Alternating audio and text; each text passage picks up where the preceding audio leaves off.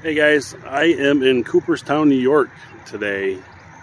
Cooperstown is really known as for the Baseball Hall of Fame, but there's so much more here than just the Baseball Hall of Fame. At the east end of town here, and we're going to go see it right now.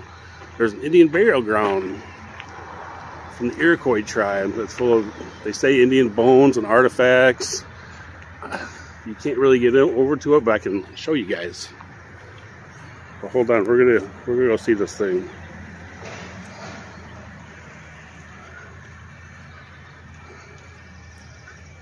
There's not a whole lot of research about it online. So this is about all I can really do. I'll show you this. There's Indian remains excavated in this field were reburied in 1874 at the base of this mysterious mound. The tablet with poem by the Reverend W. W. Lord was placed over the remains by Mrs. Alfred Corning Clark in 1899. Then at the end it says, The wide land which now is yours was ours. And this is the mound we're talking about. Right here.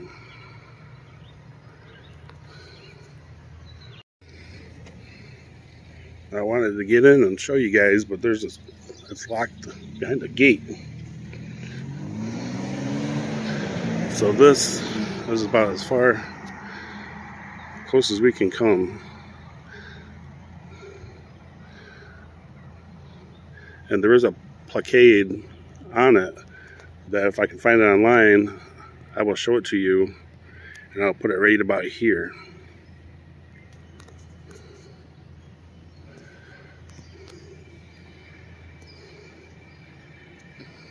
That Cooperstown is not just for baseball. There's a Medal of Honor recipient here that I took a video of. Then there's this Indian burial ground that I've, I've known about for, try to down the so so break my neck. There's this Indian burial ground that's here. So Cooperstown, not just for baseball. Although that is the main attraction here and that's pretty awesome. All right guys, that's all I got for you today. Like, subscribe to the channel. I will see you guys all later.